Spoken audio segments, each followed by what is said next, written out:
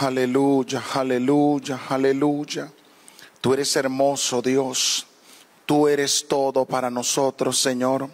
Tú eres el alfa y la omega, oh Dios. Tú eres, Señor, el Dios de lo imposible, Señor. A ti clamamos, oh Dios, en esta noche, Señor. A ti, Señor, rendimos nuestro corazón, oh Dios. A ti, Señor Padre Santo, entregamos todo lo que somos, Señor, delante de ti, oh Dios. En tu presencia, oh Dios, Señor, Padre, nos humillamos, Señor, en esta noche, Señor. Padre, demandamos, oh Dios, Señor, Padre, el espíritu de gracia y de oración, oh Dios, en esta noche. Pedimos, Señor, sabiduría, oh Dios. Pedimos, Señor, tu gracia, Señor. Pedimos tu gracia, Señor. Padre, sabemos que tú eres el Dios de lo imposible, Padre. Y a ti clamamos, Señor. En ti creemos, oh Dios, Señor. En tus promesas nos afirmamos, Señor. Jesucristo, reinas con poder. Soberano, soberano victorioso rey. Ni la muerte pudo detener tu poder para vencer. Jesucristo, Jesucristo, reinas con poder soberano soberano, victorioso rey. Ni la muerte, ni la muerte pudo detener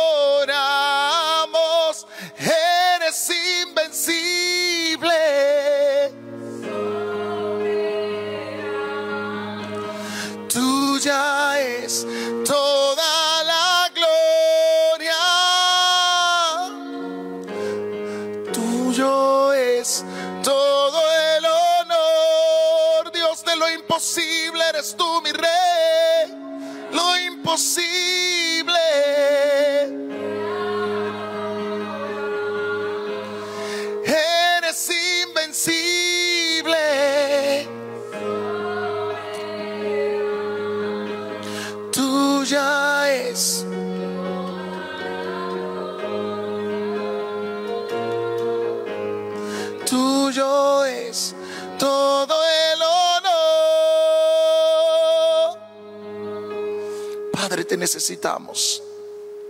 Señor, requerimos de tu gracia en esta noche, Señor. Padre, tú has sido fiel durante estas cuatro noches, Señor. Y esta no será la excepción, oh Dios del cielo. Padre, como un alma necesitada me paro delante de ti, oh Dios, Señor. Suplico, Dios, concede a tu siervo de nuevo para hablar tu palabra. Mientras tú, Dios del cielo, extiende tu mano para sanar, hacer milagros y prodigios en el poderoso nombre de tu Hijo amado Jesucristo. Señor, que los cielos estén abiertos, Señor, sobre esta reunión, oh Dios. Padre, yo hablo vida, Señor. Padre, que mientras tu palabra está siendo predicada, los cuerpos enfermos reciban sanidad, las vidas atadas reciban liberación. Rocío el poder de la sangre de Jesucristo sobre esta reunión, oh Dios.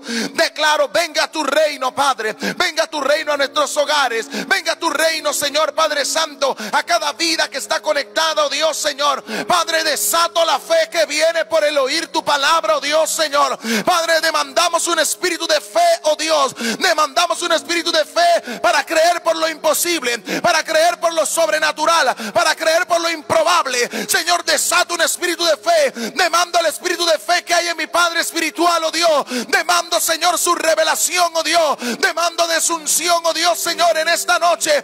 Padre, hay un pueblo, Dios, que tiene una demanda, hay un pueblo con una expectación. Señor, manifiéstate en esta noche a favor de tu pueblo. Manifiéstate, Señor. Espíritu Santo, revélanos cosas que ojo no vio, ni oído yo, ni han subido al corazón de los hombres, pero que el Padre preparó para nosotros que le amamos. Espíritu Santo, manifiéstate. Espíritu Santo, revolotea en medio de esta reunión. Oh Señor, que tu lluvia caiga sobre nosotros, que tu gloria se manifieste en medio nuestro. Señor, yo hablo milagros, Señor. El poder de la palabra creativa se ha activado, Dios, Señor. Danos oídos para oír, Padre, lo que el Espíritu Santo está diciendo a la iglesia y corazón para entender y obedecer. Señor, te doy gracias, oh Dios, por tu amor y por tu bondad. Aleluya. Sea muy bendecido, mis amados. Es una gran bendición para mí poder estar aquí, haber estado sirviéndoles, compartiendo de lo que el Señor me ha dado durante esas cuatro noches, escuchando los testimonios de cómo Dios nos ha bendecido cuando nosotros abrimos nuestro corazón a lo que el Señor quiere darnos, cuando nosotros tenemos un corazón sincero delante de Dios, cuando nosotros venimos delante de Dios sin prejuicio y le decimos, Señor, aquí está mi corazón, conquístalo. Porque Dios está buscando gente que sea sencilla, gente que tenga hambre y sed por su palabra. Gente que diga, Señor, aquí estoy, Señor. Habla Jehová porque tu siervo escucha. Yo he aprendido que la fe lleva obediencia. Donde no hay obediencia no hay fe. Porque la fe siempre me empuja a hacer algo. Me demanda hacer algo. Y sencillamente si yo no obedezco es porque yo no lo creo. Es porque yo no estoy accionando en ese algo que la fe me está requiriendo. En ese algo yo no yo no he puesto mi confianza en ese algo que la fe tiene para mí. Y hoy quiero compartir con ustedes algo. Más bien es una pregunta. Y es fe de Abraham o incredulidad de Tomás. Porque resulta interesante que Tomás caminó al lado de Jesús, vio a Jesús obrar en milagros, vio a Jesús hacer maravillas, oyó las palabras de la propia boca de Jesús acerca de su muerte, resurrección y regreso. Estuvo allí y se supone la lógica natural nos dice que los discípulos que caminaron con Jesús, que lo vieron, que tuvieron experiencia, que tal vez usted y yo no hemos tenido, tendrían que tener más fe en lo que Jesús dijo. Por eso tenemos que tener sumo cuidado. No es el que está más cerca físicamente al hombre de fe, es el que tiene la fe del hombre de, de fe. Y a veces pensamos que, ah, porque está cerca, tiene la fe del hombre de Dios. Tomás estaba cerca y Tomás dudó. Biblia dice en Romanos capítulo 4, versículo 1 al 12. ¿Qué pues diremos? Que halló Abraham nuestro Padre según la carne. Porque si Abraham fue justificado por las obras, tiene de qué gloriarse. Pero no para con Dios. Porque, ¿qué dice la escritura? Creyó Abraham a Dios creyó Abraham a Dios y le fue contado por justicia. Pero al que obra, pero al que obra, no se le cuenta el salario como gracia, sino como una deuda. Mas al que no obra, si no cree, en aquel que justifica el impío, su fe le es contada por justicia. Como también David habla de la bienaventuranza del hombre a quien Dios atribuye justicia sin obras. Diciendo, bienaventurados aquellos cuyas iniquidades son perdonadas y cuyos pecados son cubiertos. Bienaventurado el varón a quien el Señor no inculpa de pecado. ¿Es pues esta bienaventuranza solamente para los de la circuncisión o también para los de la incircuncisión? Porque decimos que Abraham tenemos, que Abraham le fue contada la fe por justicia. ¿Cómo pues le fue contada? Estando en la circuncisión sino en la incircuncisión.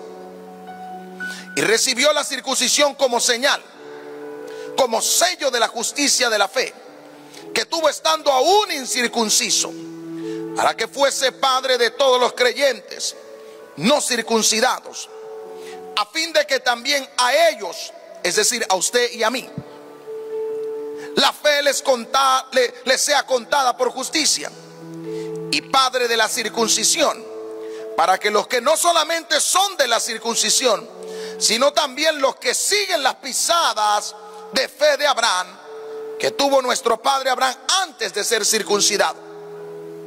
El apóstol Pablo le cuestiona a los romanos acerca de pensar que lo que cuenta para el Señor es lo que yo hago Abraham le dice, si para Dios fuera importante lo que tú haces, más que cómo tú crees, Abraham hubiese sido justificado por lo que hizo y no por lo que creyó.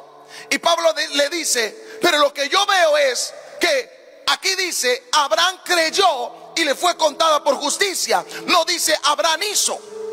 Es más, Pablo dice, y cuando Abraham creyó, no había sido circuncidado. Y creyó y accionó en fe y luego se circuncidó como una señal para que vean que el hombre de fe no tiene problema con cumplir los requisitos también. Gálatas 3:29 dice, y si vosotros sois de Cristo, y si vosotros sois de Cristo, ciertamente linajes de Abraham sois y herederos, según la promesa. Si yo, si usted es de Cristo, somos linaje de Abraham. Pero para que eso se haga efectivo en mí, yo tengo que caminar en fe. Yo tengo que creer. Yo tengo que accionar esa fe que yo heredé de mi padre Abraham. ¿Cómo usted puede activar o accesar a las bendiciones de Abraham que tanto se nos predica, que tanto se nos dice, si no es a través de la fe? Lo que me da derecho legal a las promesas que Dios hizo a Abraham se llama fe. No hay otra cosa para que usted y yo podamos reclamar legalmente ante el trono de Dios las promesas de Abraham, dadas a Abraham, si no es a través de la fe. No tiene nada que ver con lo que yo soy. La gran diferencia entre los judíos de sangre es que ellos pueden reclamarlo por su derecho sanguíneo, por su linaje sanguíneo. Pero para que nosotros podamos disfrutar de eso, tenemos que accionarlo a través de la fe. Mi Biblia dice que somos linaje de Abraham si somos de Cristo. Pero nadie es de Cristo al menos que crea primero en Él. Al menos que tenga fe en la redención. Al menos que se atreva a rendir su vida a Él. Sabed por tanto que los que son de fe, Gálatas 3:7 que los que son de fe, estos son hijos de Abraham. Yo creo que la iglesia tiene que aprender esto. Porque tanto nos atamos de que somos el Israel de Dios. Tenemos a Abraham nuestro Padre y oramos Dios de Abraham, Dios nuestro y reclamamos. Pero si tú eres incrédulo, perdóname hermanito, usted no es hijo de Abraham. Porque los que somos de fe, porque los que son de fe, estos son hijos de Abraham. Y los que son de fe viven bajo la bendición quíntuple de Abraham, porque la fe te da acceso a lo que Dios le prometió a Abraham y a su descendencia para siempre. ¿Por qué a unos le funciona la bendición de Abraham y a otros no? Sencillamente porque unos creen y otros no creen. Porque unos creen y se mueven aún cuando no ven, cuando no sienten, y otros al menos que vean, al menos que sientan, al menos que palpen, no hacen nada. Es de suma importancia entender que por fe andamos. Si nosotros sacamos la fe de la ecuación, sería mero activismo religioso. Y es triste ver cómo la iglesia moderna se ha quedado con activismo religioso. No hay señales, no hay milagros, no vemos a, la manifestación del poder de Dios al punto que algunos tienen que acudir a hacer shows mediáticos, a hacer espectáculos falsos para que la gente crea que están ocurriendo las cosas. ¿Qué pasó? ¿Se acabó el poder de Dios? No. La iglesia decidió tomar otra ruta para ver lo sobrenatural o para tratar de fabricarlo. Jesucristo es el mismo ayer, hoy y por siempre. Pero tenemos fe nosotros para creer eso. Porque la iglesia primitiva caminaba con los cielos abiertos, con milagros, con señales, con prodigios? Porque el pueblo de Israel vivió en el desierto viendo la gloria de Dios? Porque había un hombre de fe, porque había un pueblo que creía. Y siempre que haya un pueblo que crea, va a existir milagros. Siempre que haya un hombre que crea, el cielo va a estar abierto, la bendición lo va a estar correteando.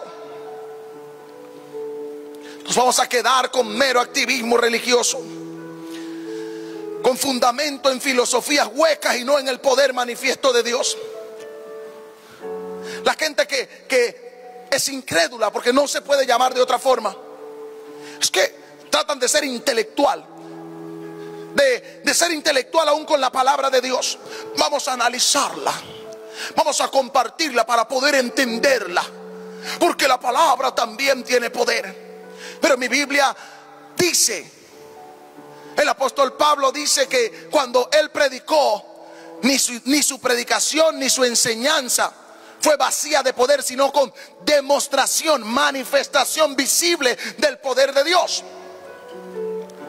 Tanto se habla de la bendición quíntuple de Abraham se enseña a la iglesia a demandar y esperar que acontezca. Y esto suena lindo. Hermanos, somos herederos de la promesa de la bendición quíntuple. Y hemos oído seminarios de la bendición quíntuple. Y hemos oído cuantas enseñanzas de la bendición quíntuple. Hermano, demande la bendición quíntuple. Usted es heredero de la fe de Abraham. Hermano, usted no es heredero si usted no es un hombre o una mujer de fe. Lo siento.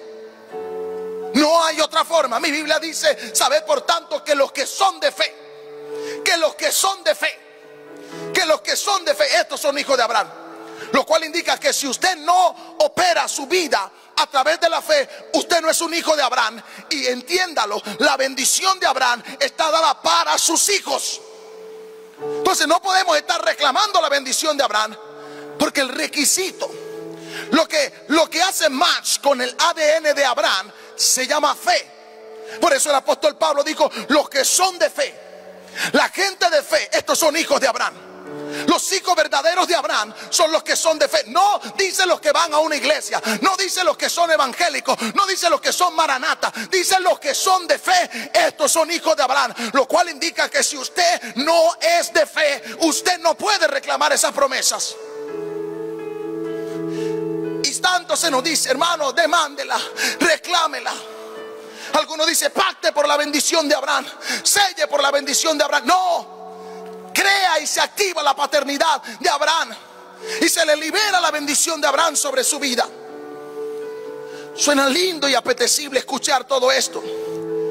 Es más, suena hasta fácil de reclamar algo que por herencia es nuestro. Y nos paramos y oramos, Padre, yo demando la herencia como hijo que yo soy, Señor. Lo peor que nos puede pasar es cuando se nos haga el ADN y se lea, se diga, en relación a Abraham, fulano de tal, es 0% de probabilidad de que sea hijo de Abraham. Que cuando se te haga el ADN, se te encuentre un hombre de fe, una mujer de fe, se diga, usted es compatible con Abraham, por ende usted tiene acceso a la herencia que Abraham conquistó por fe. Porque lo que Abraham conquistó fue por fe. Y lo que nosotros podemos dispensar de lo que Abraham conquistó solo es por fe. No hay otro camino. No hay otra forma. No hay otra forma. Esa herencia de Abraham tiene una, una única llave. Y esa llave se llama fe no va a llegar, no va a llegar. Hermano, y yo me pudiera quedar allí en Gálatas 3:7. use todos los argumentos que cualquier teólogo quiera tener. La Biblia lo dice claramente, porque los que son de fe, porque los que son de fe, estos son hijos de Abraham. Mi pregunta es, ¿es usted de fe? ¿Es usted de fe? Es decir, los que caminan, los que viven, los que andan, los que solo se mueven en fe, eso te hace ser hijo de Abraham. Cuando nosotros tenemos un hijo natural, ellos tienen características nuestras. Ellos actúan como nosotros y la gente dice, míralo, se parece a su papá, porque hace esto como su papá. Pues los hijos de Abraham sencillamente tienen una marca y se llama fe. Se mueven sin saber a dónde van. Obedecen a la voz de Dios. Sueltan cuando Dios dice que suelte. Van cuando Dios dice que vayan.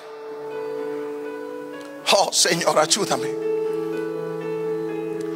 Procurar conseguir la bendición de Abraham a través de la fe de Tomás no funciona. No funciona. Y yo creo que es lo que ha estado tratando de hacer la iglesia durante muchos años. Quieren la bendición de Abraham, pero están usando la incredulidad de Tomás.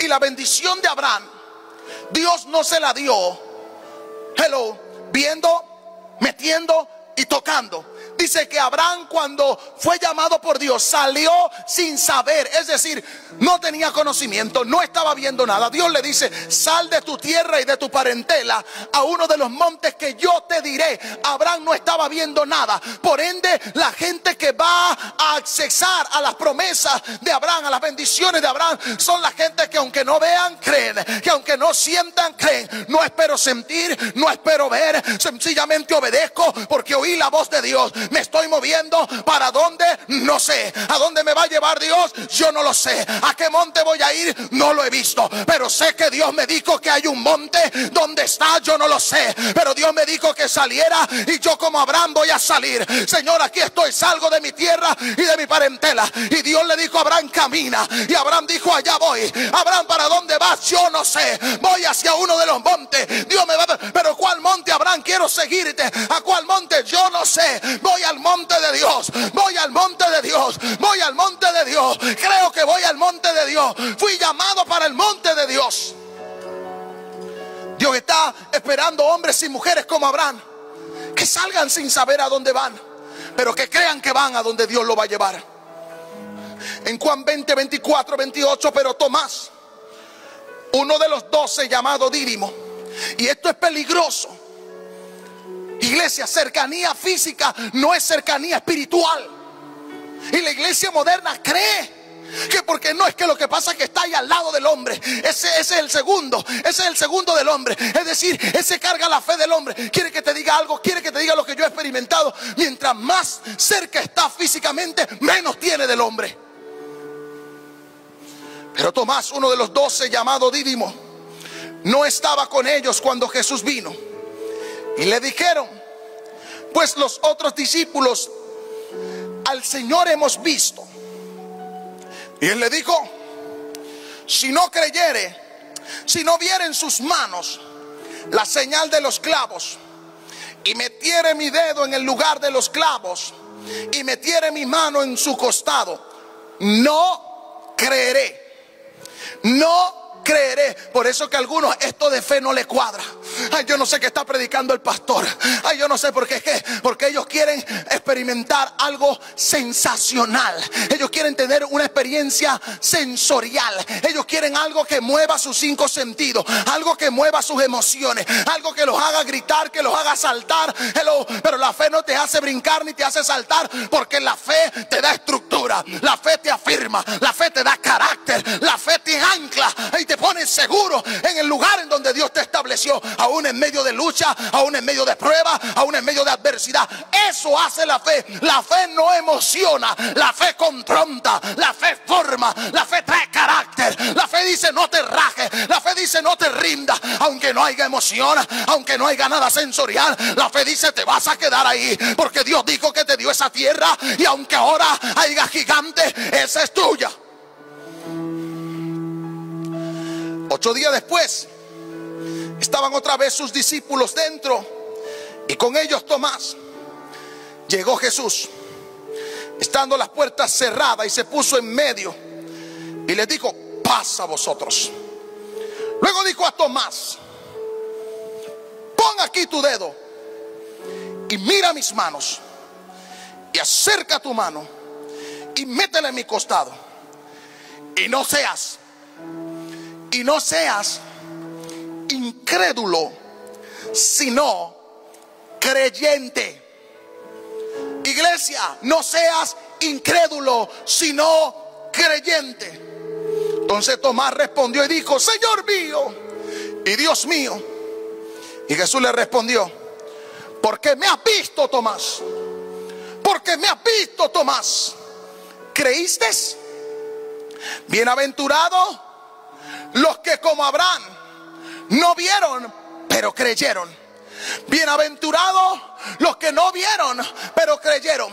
Llevamos una semana hablando de fe y tal vez usted diga, pastor, este es el día número 5. Yo no he visto nada, pero yo creo. Yo no he visto nada, pero yo creo. Hay algunos que empezaron el primer día a ver qué pasa, a ver qué trae. El segundo día a ver qué trae. El tercer día digo, no, no, no, yo no veo nada. Yo no siento nada. No voy a volver a esa transmisión. El Señor le dice, bienaventurados los que creen aun cuando no están viendo. Bienaventurados los que creen aun cuando no están sintiendo. Bienaventurados los que creen, aun cuando no están experimentando, pero ellos creen, ellos creen en la realidad que soy yo.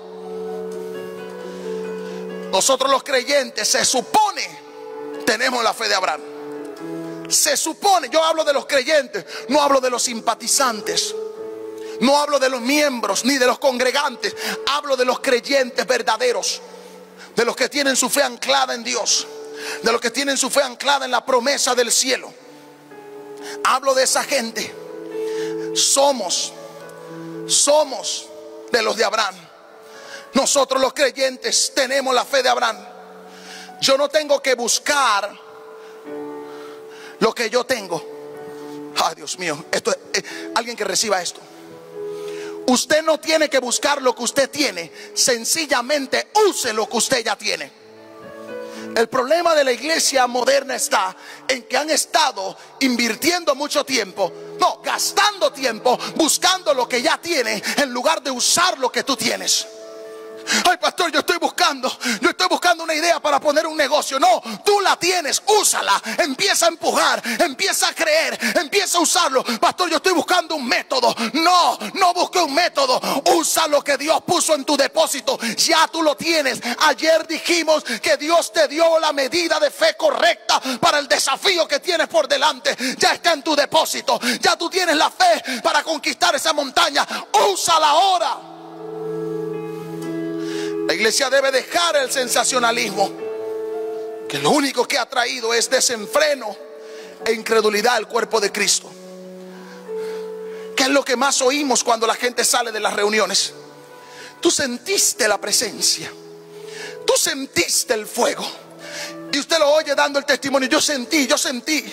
Y hay gritos, y hay saltos, y hay lágrimas, y la gente se tira al piso. Y no digo que eso sea malo, pero la gente en la iglesia se ha vuelto muy sensacionalista, al punto de que cuando no tienen esas experiencias sensoriales, dicen Dios no estaba ahí, no había unción.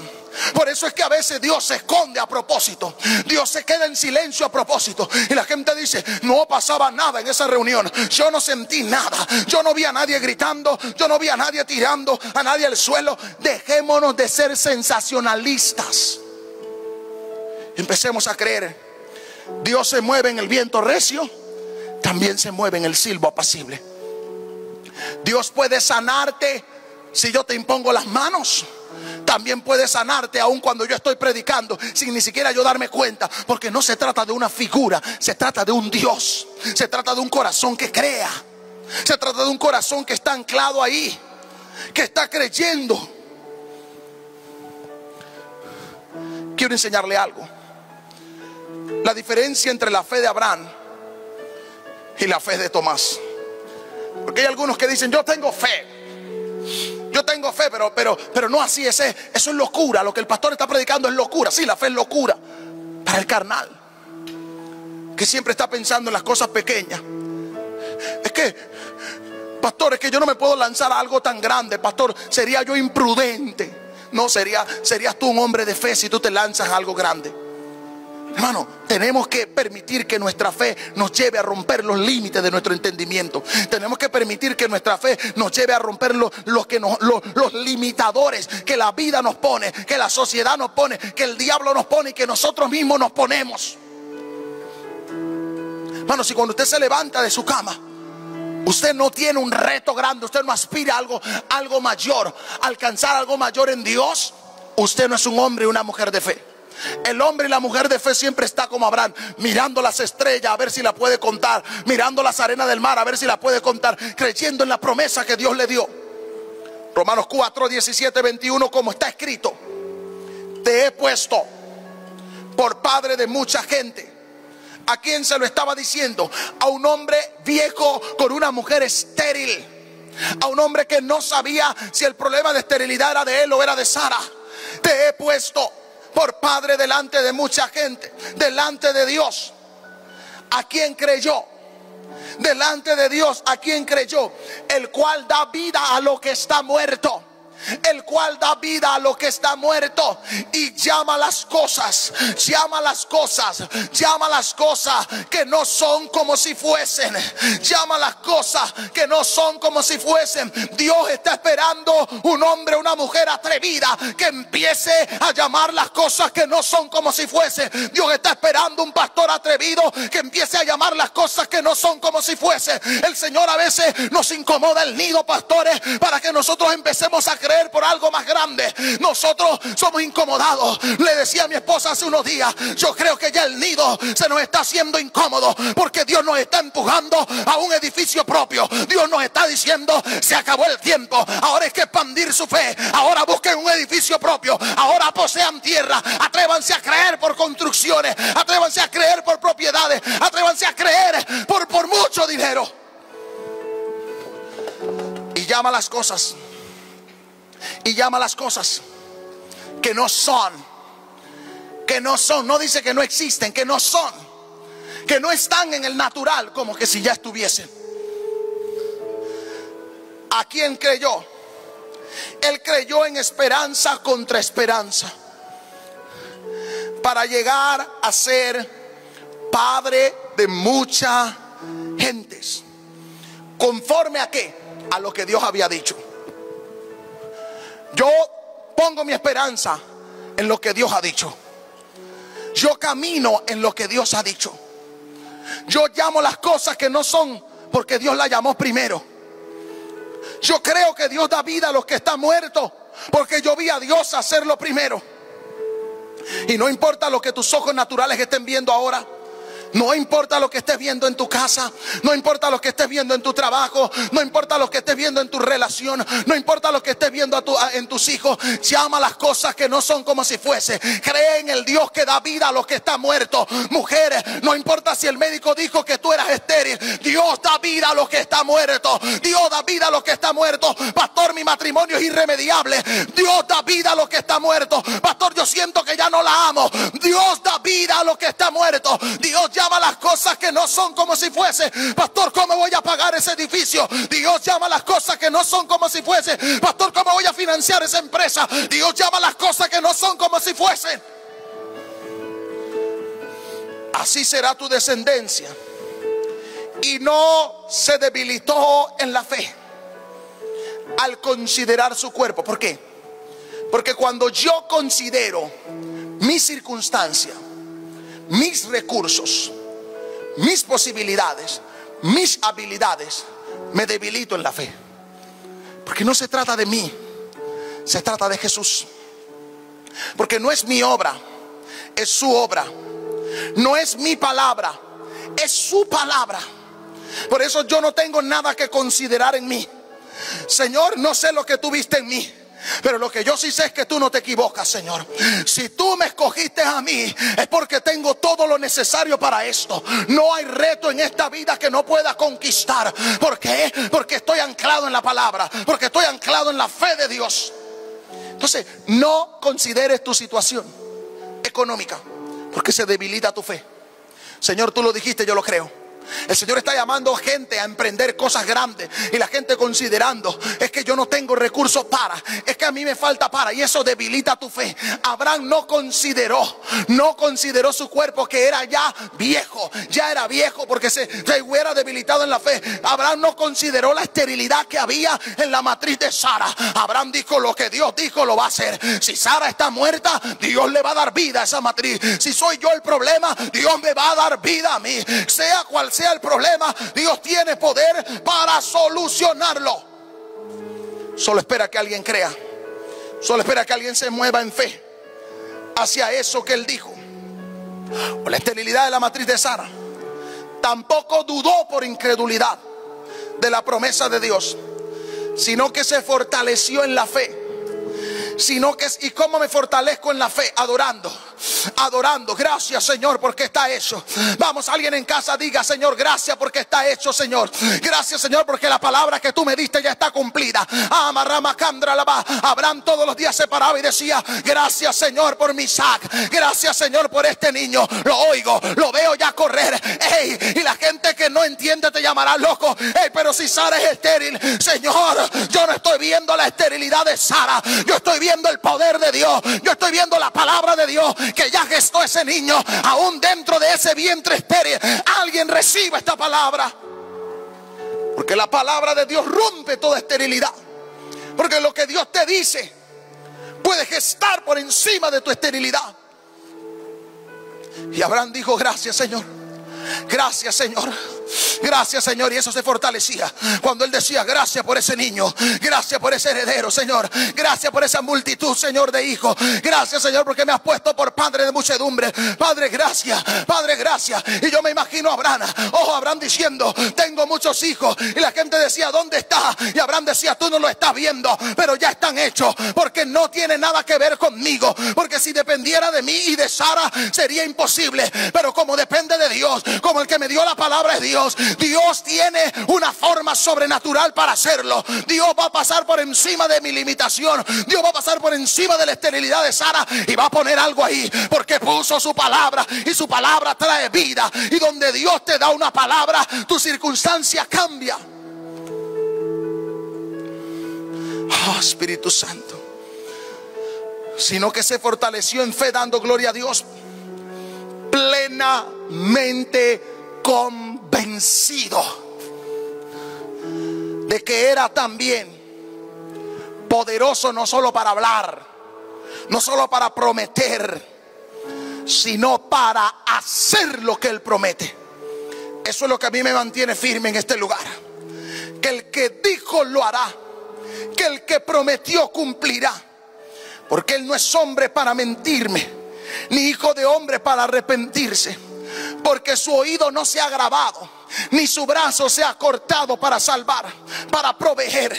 Él lo dijo y Él lo va a hacer. Yo no sé si alguien tiene una palabra de Dios. Yo no sé si alguien ha recibido una palabra de Dios. Pero quiere que te diga algo. Lo que Dios habla, antes de hablarlo, primero lo hace. Dios es el único ser. Dios es el único ser que antes de prometer cumple. My God. Alguien que reciba esto. Pastor, ¿qué está diciendo usted? Porque cuando Dios te da una palabra, viene de tu futuro de ya cumplirla. Viene de regreso. Y Dios dice, ¿sabes qué? tú estás viéndote hoy limitado. Tú te estás viendo enfermo hoy. Tú te estás viendo pobre hoy. Pero yo vine, ya yo vine de regreso. Ya en cuando te levantes, ya cuando tú camines, allá hay riqueza para ti. Ahí está tu sanidad. Ahí está tu milagro. Ahí está tu ministerio. Ahí está tu edificio. Porque vengo de cumplir eso. No vengo, vengo a darte la buena nueva. Vengo a darte la noticia. Ya lo hice.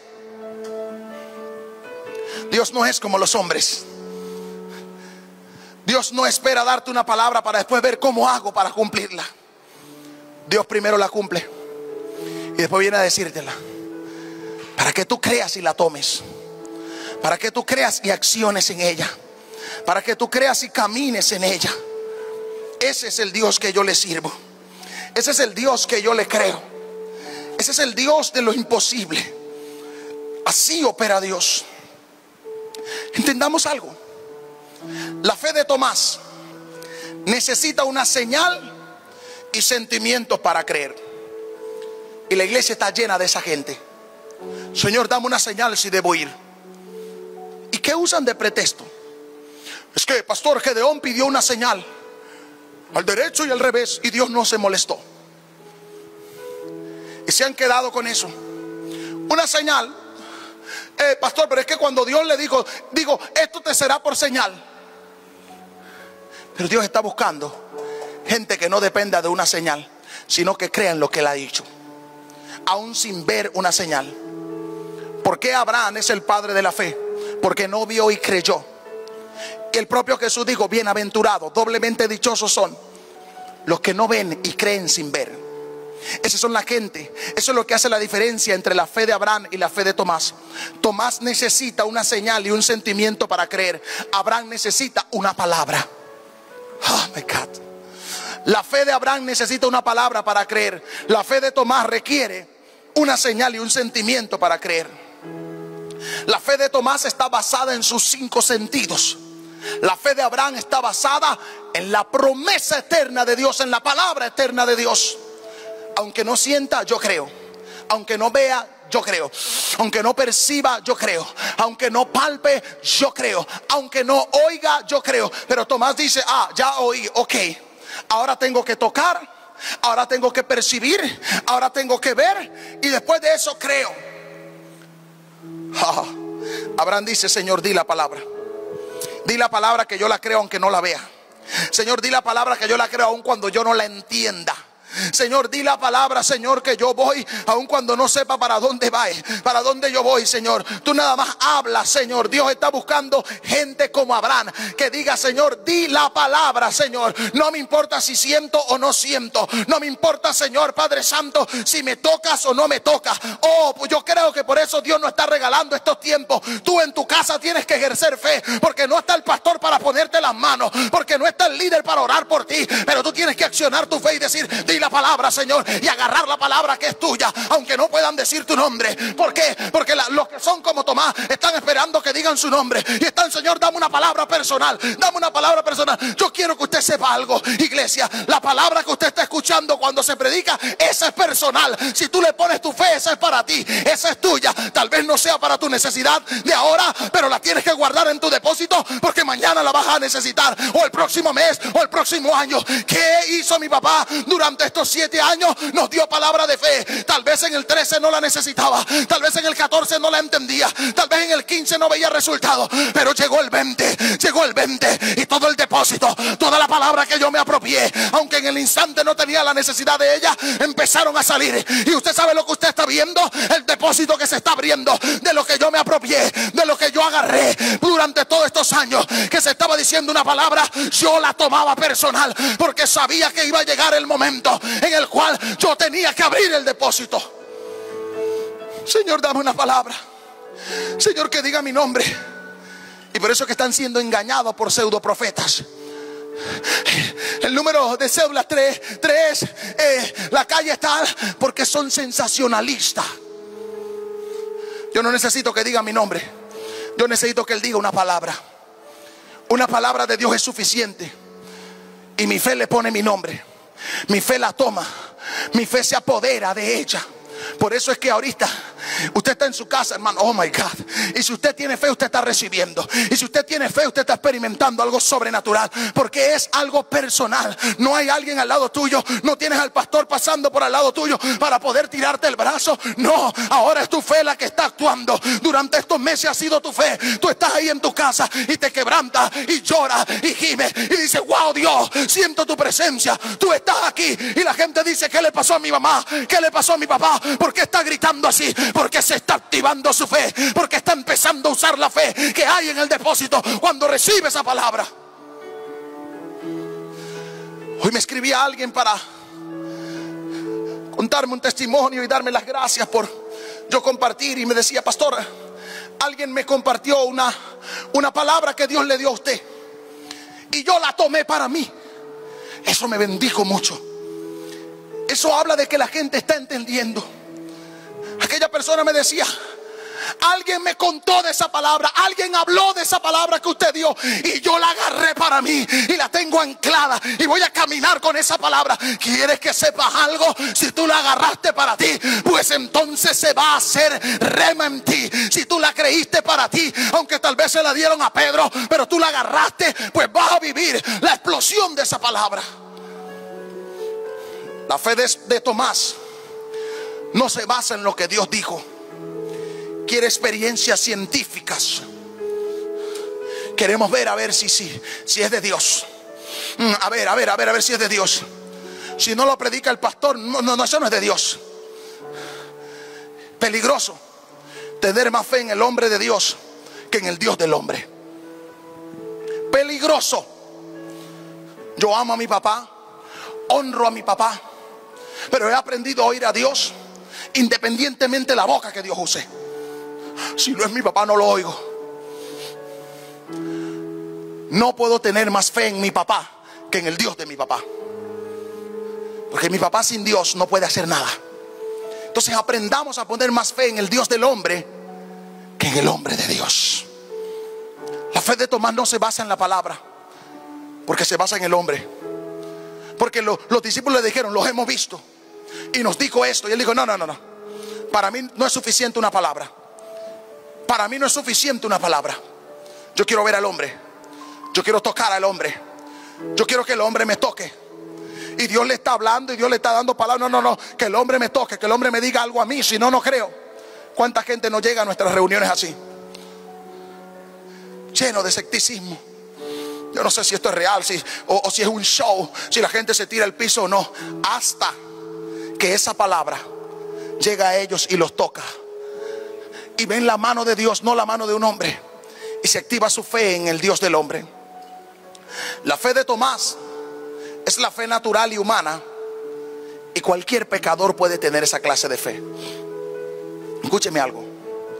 La gente que ha logrado grandes cosas allá en el mundo, hablo de los pecadores, lo han hecho a través de fe, de tenacidad, de creer, de entrega, de caminar, de tener experiencias. A través de la fe de Tomás, la fe de Tomás era quiero ver, meter, experimentar. Y tuvo resultados. Jesús vino y Jesús le dijo, Tomás, aquel, ven, mete, toca, palpa. Wow, Señor, eres tú. Tomás, porque me viste, creíste. Esa fe no impresiona a Dios. Más bien esa fe enoja a Dios. Y Jesús le dijo, bienaventurados los que no vieron. Bienaventurados los que no sintieron. Bienaventurados los que no esperaron que yo lo tocara ni quisieron tocarme y sencillamente creyeron en lo que yo le dije. La fe de Abraham es la que llama las cosas que no son como si fuesen. En otras palabras, hay aquí hay una pequeña fórmula de la fe de Abraham que nos puede servir y nos puede bendecir. Tengo una palabra de Dios acerca de algo. Tengo una palabra de Dios acerca de algo crea esa palabra que Dios le dio para ese algo. Dios ha estado hablando de emprendimientos. Mientras yo oraba, el Señor me afirmaba eso. Él está poniendo sueños para prosperar en el corazón de gente. Dios va a levantar emprendedores en medio de esta crisis. Alguien que reciba esto. Brela Macondre Levasaya. En medio de esta crisis van a salir grandes empresarios, hombres y mujeres de fe que Dios le va a dar una palabra para que ellos activen en fe y puedan ver que todo es posible el que puede creer. Crea la palabra de Dios. No mires a la circunstancia, aunque parezcan contrarias. Y dé gloria a Dios. Te repito la fórmula de la fe de Abraham. Tengo una palabra de Dios cerca de, acerca de, de eso que tú estás creyendo. Cree la palabra de Dios. No mires la circunstancia aunque parezcan contrarias. Y dale gloria a Dios porque ya te respondió eso. Siga usted estos cuatro pasos. Y yo le aseguro, yo le aseguro que sin falta llegará usted a experimentar a Dios. Porque son cuatro pasos seguros, segurísimos diría yo. Para la liberación, para la sanidad, para el milagro, para la petición que usted está buscando. Tengo una palabra de Dios acerca de eso que está buscando. Crea esa palabra de Dios. No mire las circunstancias aunque parezcan adversas. Y dele gloria a Dios por eso. Crea a Dios y a su palabra. Hebreos 11:3, por la fe entendemos haber sido constituido el universo por la palabra de Dios. De modo que lo que se ve fue hecho de la palabra que tú no veías. Esta semana hemos recibido palabra de fe que está construyendo, que va a edificar en su vida, que va a edificar en su casa, cosas que hasta ahora no se, están, no, no se han visto. Pero eso fue hecho por la palabra, por lo que no se veía. Y por la fe entendemos haber sido constituido el universo. Por la fe entendemos cómo Dios lo está levantando a usted. Porque usted recibió una palabra que nadie veía. Solamente usted la tenía en el corazón. Usted la tenía ahí guardadita. Y eso manifestó, sacó a la luz lo que usted estaba gestando en su lugar secreto. Este que era una palabra se materializó y ahora la gente dice, ¿y qué le pasó a este? ¿Cómo logró eso? Eso fue hecho de lo que no se veía, de una palabra. Ánclese a una palabra. Acostúmbrese como aquel hombre. Di la palabra, Señor. Di la palabra, Señor. Yo vine por una palabra. Yo nunca entro a una reunión. Yo nunca activo una transmisión. Antes de decirle, Señor, di la palabra. Di la palabra, Señor. Y mi situación va a cambiar. Di la palabra y recibo la sanidad. Di la palabra y mi milagro aparece. Di la palabra, Señor. Aprenda a demandar una palabra palabra verdadera de Dios. Aprenda a estar ahí. Lucas 1:45 y bienaventurada. Y bienaventurada la que creyó, porque se cumplirá lo que le fue dicho de parte de alguien que reciba esto. Bienaventurada la que creyó, Rama Condrele Basaya, porque se va a cumplir lo que te fue dicho que tú creíste. Solo lo que te fue dicho y tú creíste, eso se va a cumplir. Tú pudiste haber tenido mucha palabra de Dios, tú pudiste haber recibido mucha palabra de Dios, pero solo se va a cumplir la que tú creíste. Solo vas a experimentar la que tú creíste. El problema de la iglesia está no en la falta de palabra, es en la falta de fe en esa palabra, porque tu falta de fe en esa palabra impide el cumplimiento de esa palabra en tu vida. ¿Cuánta palabra no hemos recibido de fe? Papá vino a traernos fundamentos de fe. Y sabe, las únicas que se han cumplido, las que hemos creído. El problema no está en la palabra. El problema está en la fe que tú tienes para esa palabra. Hebreos 11, 8, 11, por la fe Abraham, siendo llamado, obedeció para salir al lugar que había de recibir como herencia. Y salió sin saber a dónde iba. Por la fe habitó como extranjero en la tierra prometida, como en tierra ajena, morando en tiendas con Isaac y Jacob, coherederos de la misma promesa, porque esperaba la ciudad que tiene fundamentos cuyo arquitecto y constructor es Dios. Por la fe también, la misma Sara lo peor que te puede pasar, ministro, es que tú tengas fe y tengas una incrédula al lado. Por la fe, la misma Sara, al igual que Abraham. Porque Sara tenía que creer como creyó Abraham para ayudar a la manifestación del milagro. Oramos por nuestras esposas. Señor, dale la fe de Sara a nuestras esposas, Señor. Dale la fe, Señor, que ellas aprendan a creer en lo que Dios nos ha dicho a nosotros. Señor, danos mujeres de fe. Levanta la fe en nuestras esposas, Señor. Levanta la fe en nuestras esposas. Lo más difícil es tratar de convencerla de lo que Dios te dijo. Por eso eso no es tarea de nosotros. Dios le va a dar una palabra a ellas y le va a dar una fe para creer que no estamos locos. Por la fe también la misma Sara, siendo estéril, recibió fuerza para concebir y dio, dio a luz, aún fuera del tiempo de la edad.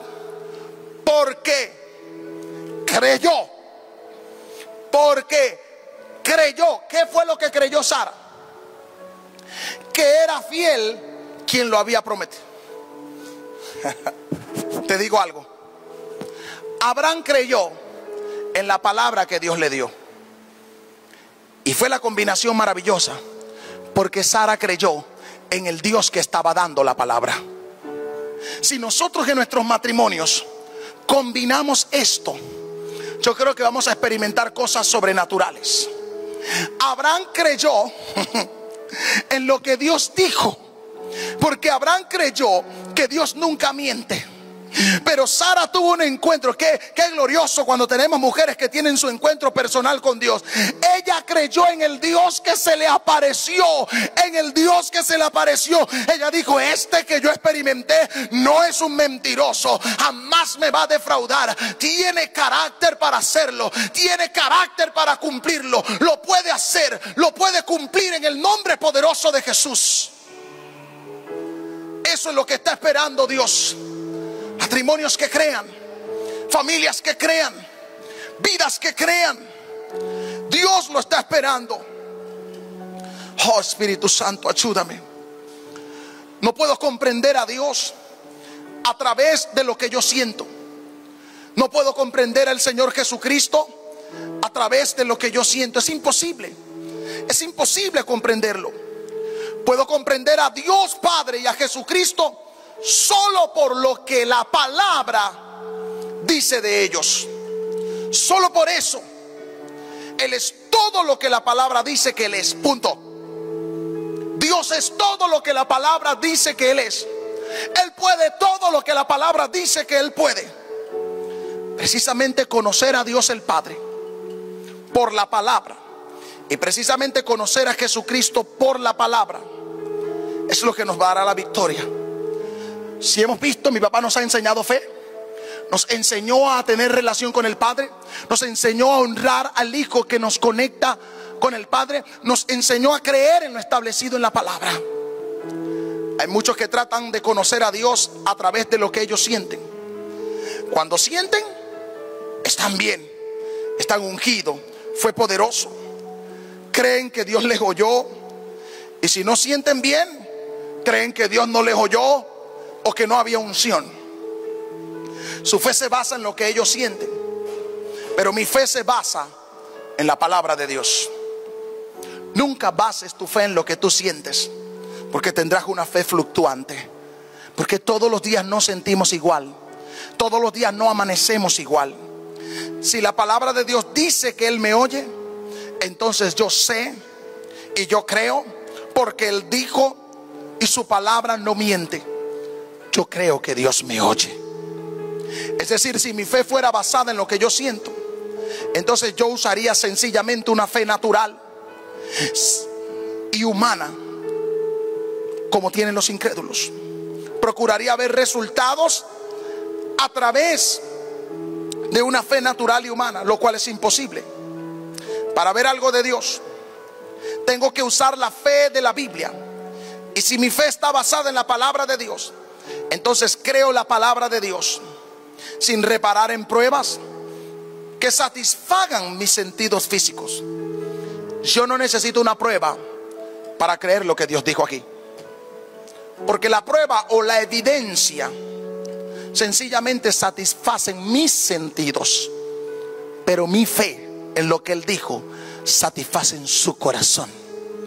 Agrado a Dios. Y yo no estoy aquí para satisfacer mis sentidos. Yo estoy aquí para agradar a Dios. Entonces no se trata de que Él me dé a mí una evidencia, sino de que yo crea lo que Él dijo para yo agradarle a Él. Hemos sido engañados, predicadores, ministros. Hemos sido engañados por algunos que han venido al altar y oran y lloran y se tiran al piso y saltan y abrazan y algunos parecen que están súper felices. Y entonces no volvemos a verlo, no volvemos a saber de ellos. Nos parecería algo ilógico. Y nosotros creemos, wow, la unción aquí está. Y la persona cae al piso y todo lo demás. Y su vida no cambia. ¿Por qué? Porque fue algo externo. Fue una experiencia emocional fue una experiencia religiosa. No fue algo espiritual, no fue algo fue algo sencillamente causado por las emociones, no por el nuevo nacimiento. Porque el nuevo nacimiento requiere fe. Otros no demuestran ni siquiera ninguna emoción, nada. Y no sabemos si le ha pasado algo. Predicadores saben de los que yo le estoy hablando. no se quedan en el altar mucho tiempo, pero ellos, muchos de ellos, se convierten en grandes creyentes porque tenían una fe viva en su corazón. Hay gente siendo salva sentada, hay gente siendo sana sentada, no pasan. Y hay gente que pasa todos los llamados y no cambian, no reciben, porque vienen a satisfacer sus sentidos naturales. Pero esa persona que está allá, tímida, y uno ve como que no está recibiendo nada, está rindiendo su corazón a Dios, porque está conectando su fe. Muchas veces nuestra fe se basa en nuestros sentidos corporales. Creo en la emoción, pero yo lo que hago, mi padre me ha enseñado a poner la emoción en el último lugar. Yo creo en la emoción. A mí me gusta sentir, pero no lo uso como un requisito para creer. A mí me gusta experimentar eso. A mí me gusta el fuego, eso me gusta. Pero no es la prioridad en mi vida. No es la prioridad en mi vida. La palabra de Dios es primero. La fe en la palabra de Dios es lo segundo. Y por último es la emoción de ver los resultados que hace la palabra cuando yo le pongo mi fe a ella. Muchos ponen esto al revés y tienen primeramente la emoción, la fe en su emoción y la palabra de Dios en último lugar. Y por esa razón no ven resultados. Padre, te doy gracias, Señor por tu fidelidad durante estos cinco días, Dios. Gracias, Señor Padre, porque lo que dijiste con tu boca lo cumpliste con tu mano, Señor. Padre, gracias te doy, Señor, porque tú has sido fiel, oh Dios. Padre, tú me confiaste esta asignación y nunca me abandonaste, Señor. Padre, tuya es la gloria, la honra y la alabanza, Señor. Padre, la palabra es tuya, Señor. La fe es tuya, Señor. Los resultados son tuyo, Señor, para mis hermanos, para mi vida, Señor. Padre, te doy gracias, Señor, por el espíritu de fe, oh Dios, que se nos ha impartido, Dios. Y esa fe que cada día va a ir creciendo en nuestras vidas, Señor. Cada día, Señor, veremos resultados sobrenaturales de nuestra fe, Señor. Padre, te doy gracias. Señor, yo oro ahora por los enfermos, Señor. Envío la palabra de sanidad y de milagro, Dios, Señor. Los que han estado enfermos de COVID, Señor, por la sangre y el nombre de nuestro Señor Jesucristo, yo declaro sanidad. Padre, cualquier cuerpo enfermo ahora, por la sangre y el nombre de nuestro Señor Jesucristo, yo declaro la palabra de sanidad y de liberación, sea cual sea la enfermedad o el dolor, declaro que es ilegal en tu cuerpo, porque la palabra dice que por las llagas de Jesucristo tu cuerpo ya fue curado. Envío la palabra de sanidad, envío la palabra del milagro. Señor, los que están creyendo, Dios, por finanza, los que están creyendo por emprendimiento, Señor, yo desato ese sueño, desato esos recursos, Señor Padre Santo, para poder lograr esos, esos sueños, Señor. Padre, gracias por la vida de mi Padre, oh Dios. Oro, Dios, Señor, por el servicio, Señor, del día domingo, Dios, que mi Padre estará con nosotros las 1 y 30, oh Dios. Una palabra revelada, Señor. Tú tienes una palabra del cielo para nosotros. Padre, que nuestros corazones estén expectantes, oh Dios, Señor. Padre, el domingo será un día sobrenatural, una unción de lo alto cae sobre tu siervo, Dios, Señor, para impartirle al mundo entero, Señor. Padre Santo, algo sobrenatural estás derramando en él, oh Dios. Una palabra que ojo no vio, ni oído yo, ni han subido al corazón de los hombres. Oramos, oh Dios, por manifestación de tu poder sobre la vida de tu siervo, Dios del cielo. Padre, el domingo veremos, Señor, escucharemos, Señor, Padre Santo, Padre, y recibiremos en fe, Dios, lo que tú tienes para nosotros. Bendigo la vida de mis hermanos, Señor. Bendigo su familia, oh Dios. Doy gracias por la fidelidad de ellos a ti, Señor, y a tu palabra, Señor. Declaro la sangre de Jesucristo sobre sus casas, Señor. Declaro los cielos abiertos sobre ellos, Dios del cielo. Padre, te doy gracias por cada uno de ellos, Señor. Señor, tu fe, Señor, Padre Santo, y mis hermanos, Señor, en el nombre poderoso de Jesús. Recuerde, mis amados, papá estará con nosotros el día domingo a las 1 y 30. Esté expectante, un corazón abierto para recibir lo que Dios tiene para nosotros. Gracias por acompañarme durante estos cinco días. Gracias por abrir su corazón. Gracias por su fidelidad a lo que Dios ha puesto en este ministerio. Reciban un fuerte abrazo. Les amo entrañablemente. Les veo pronto. Chao.